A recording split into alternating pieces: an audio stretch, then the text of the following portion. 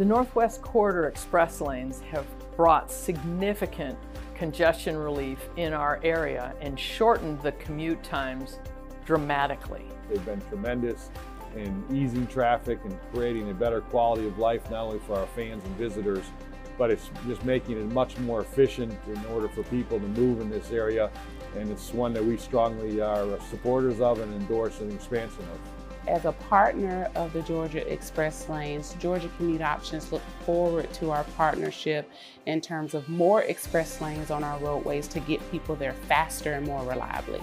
I actually think that we'll get to a point by 2028 where Atlanta no longer shows up among the top 20 most congested cities in this country. It's going to have that much impact.